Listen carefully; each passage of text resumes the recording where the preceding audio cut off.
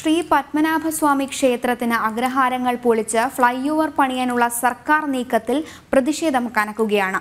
നാളെ മന്ത്രി ആന്റണി രാജുവിന്റെ നേതൃത്വത്തിൽ സമരസമിതി പ്രവർത്തകരുമായി ചർച്ച നടത്തും. സർക്കാർ തീരുമാനം എന്തായാലും പൈതൃക സ്വത്തായ അഗ്രഹാരങ്ങൾ പൊളിക്കാൻ അനുവദിക്കില്ലെന്നാണ് നാട്ടുകാരുടെ നിലപാട്. തിരുവനന്തപുരം നഗരത്തിലെ ഗതാഗത കുരുക്കിന് പരിഹാരമെന്ന നിലയിലാണ് അട്ടക്കുളങ്ങര മുതൽ അഴീക്കോട്ട വരെയുള്ള ഭാഗത്ത് ഫ്ലൈ ഓവർ പണിയാൻ സർക്കാർ ഒരുങ്ങുന്നത്. ഇതിന്റെ മറവിൽ പുരാവസ്തു വകുപ്പ് പൈതൃക പട്ടികയിൽ ഉൾപ്പെടുത്തിയ അഗ്രഹാരങ്ങൾ പൊളിക്കുന്നതിനെതിരെ വലിയ പ്രതിഷേധമാണ് ഉയരുന്നത്. നാളെ സ്ഥലം എം എൽ എ കൂടിയായ മന്ത്രി ആന്റണി രാജുവിന്റെ നേതൃത്വത്തിൽ വിവിധ വകുപ്പ് ഉദ്യോഗസ്ഥരും സമരസമിതി പ്രവർത്തകരുമായി ചർച്ച നടത്തും. മുപ്പത്തൊന്നാം തീയതി വൈകുന്നേരം ആറ് മണിക്ക് ശ്രീ ആന്റണി രാജ് അവർകൾ ഞങ്ങളെ മീറ്റിങ്ങിന് വിളിച്ചിട്ടുണ്ട്. ആ മീറ്റിങ്ങിൽ റവന്യൂ ഉദ്യോഗസ്ഥരും പങ്കെടുക്കുന്നതായിരിക്കും. ആ മീറ്റിങ്ങിൽ ഞങ്ങൾ ഹെറിറ്റേജ് സോണാണ് എന്ന് തെളിയിക്കുന്ന എല്ലാ രേഖകളും ഞങ്ങൾ അതിൽ സമർപ്പിക്കും. ഈ പദ്ധതി പൂർണമായി ഉപേക്ഷിക്കണമെന്നും ഞങ്ങളുടെ അപേക്ഷ ഞങ്ങൾ അവിടെ മുന്നോട്ട് വയ്ക്കുന്നതായിരിക്കും. എന്ത് വില കൊടുത്തും സർക്കാർ നീക്കം തടയുമെന്നാണ് അഗ്രഹാരവാസികൾ പറയുന്നത്. ക്ഷേത്രത്തിൽ പത്ത് ദിവസം ഉത്സവമാണ്.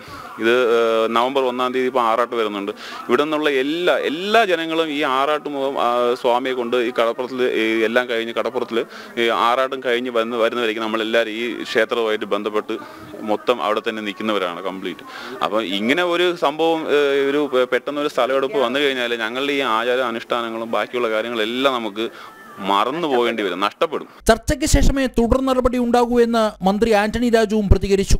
അല്ല അത് ചർച്ചയിലൂടെ മാ- ചർച്ച ചെയ്ത് നമുക്ക് നടപ്പിലാക്കാൻ കഴിയുമോ എന്നല്ലേ ആദ്യം പരിശോധിക്കുന്നത്. അല്ലാതെ പിന്നോട്ട് പോകാൻ വളരെ എളുപ്പമല്ലേ? സർക്കാർ നീക്കത്തിനെതിരെ ഹൈന്ദവ സംഘടനകളും ബി ജെ പിയും രംഗത്തുണ്ട്. ജനം തിരുവനന്തപുരം.